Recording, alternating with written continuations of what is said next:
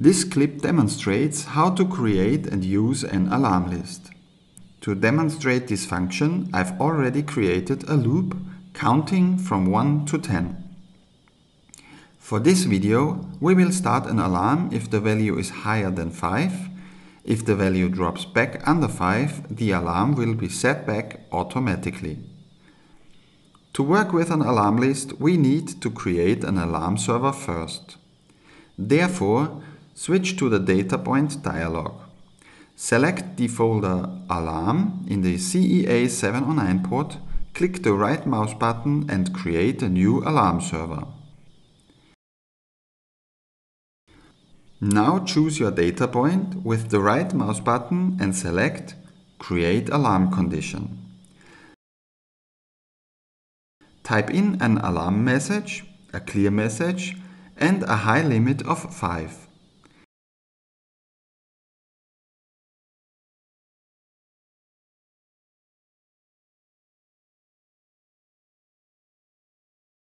Click Save Changes to end the configuration.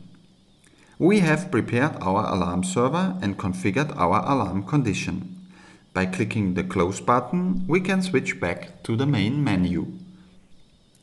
Select your page, click the right mouse button and add an alarm list. To change the size of the list, just drag it by clicking on the right lower corner. In the sub-menu Alarm Log Control, you can choose the appearance of time and date, and you can select if and how much data will be recorded.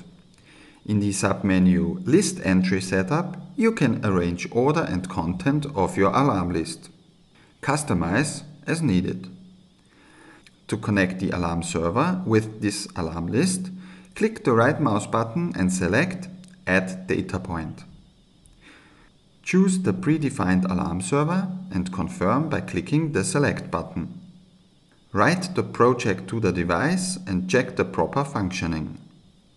The display should look like the one you can see now. Every time the value is higher than 5, an alarm will be triggered. If the counter jumps back to 1, the alarm will be cleared. In this example, we should see every 10 seconds a new alarm in the alarm list.